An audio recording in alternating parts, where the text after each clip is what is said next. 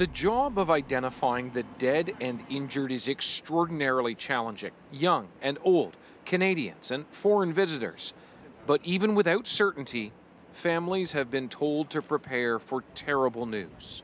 When I left the gym, I saw all the bodies.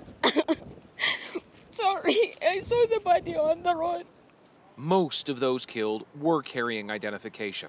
The Toronto Police But the coroner says that isn't job. enough, Uh, we especially when the damage uh, to bodies a is so strategy and to try to extensive. Frankly, it takes time to get records and it takes time to meet families. And so that's not a resource issue. That's really, you need to uh, ensure that you're talking to the right person. You take the time to do that. What is known? Two South Korean citizens are among the dead, students studying in Canada. So too is a Jordanian man here to visit his son, Munir Habib Abdul Al Najjar. 80 year old Dorothy Sewell was on the street, perhaps enjoying the lovely weather in her retirement. Grandson Elwood Delaney is now mourning her loss. It wasn't an accident, right, it would be easier to deal with if it was, you know, you know, nature caused or you know a little accident. But to go out this way, This woman's best friend is among the victims. Anne Marie D'Amico was just outside her office when the young woman and volunteer was struck down and killed. In a statement, her family says it comforts us knowing that the world has had a chance to know her and that her message in life will survive her death. Altruism rather than anger and hatred.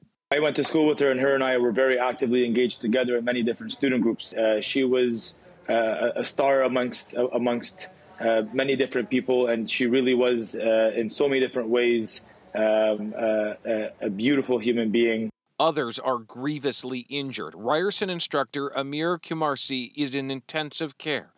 Hyder Firas was Kiumarsi's student, but the two have remained close in the years since. Amazing man, really amazing man. And last contact I had with him was four days ago. Just four days. Four days ago, yeah. Among the injured are co-workers of the dead, elderly residents, and others.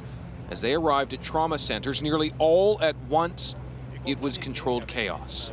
It was, you know, unimaginable. You know, I'm, I've been here for 14 years, I've seen a lot, but it was definitely, um, you know, very traumatic, but at the same time, as a nurse, we're trained to do this, And David, there is a remarkable story uh, of a man who had a, a very close call. Certainly, but he's also very lucky. Morgan McDougall is his name, and he felt something. He heard something, turned around, and got his body turned around just in time to see the van, got out of the way partly, but was struck at 50 kilometers an hour, thrown unconscious, a big gash across his head, picked up by paramedics, taken off to hospital.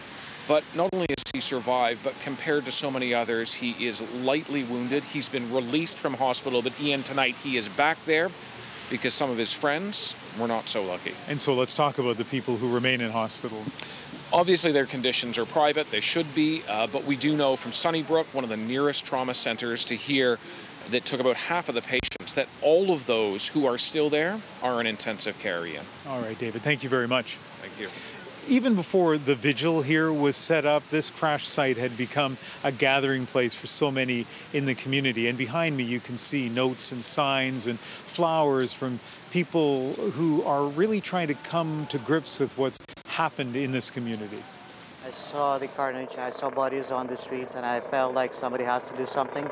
Konstantin Gulich was moved to start this memorial to honor the victims and support the community. People who are just walking by, but they, everybody needs a moment to heal, everybody needs a canvas to express uh, themselves. All day, people stop by to leave messages of love and grief. This road I walk every day, you know. Really, every day we are just uh, doing, you know, but it's. Uh, uh, but I, I just feel so terrible. This is my road every day to walk. And at time like one o'clock, I walk every day from Finchon, Yonge and Finch to Yangan Sheppard. Yesterday I decided to go to the gym instead. people are in pain today. Like you, you know, you're going on the subway knowing that even though quietly we're not talking to each other, people are thinking about, you know, what happened. It's become a gathering place for community leaders, members of a nearby mosque coming to pray. Being a national community, was important that we could be here uh, with our message, uh, which is the motto of our community love for all and hatred for none. And politicians, Premier Kathleen Wynne side by side with Mayor John Tory, laying flowers. It's very sobering and very somber. This place will forever be a scar on the, on the city of Toronto, but one of the things about all scars uh, is that they're part of the healing process. And the Premier saw firsthand how this attack has left some in the community shaken. As Wynne left, she met a student from Seneca College where the suspect studied.